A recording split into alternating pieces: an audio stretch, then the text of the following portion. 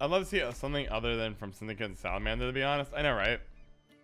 What Be good. Without pleasures is life.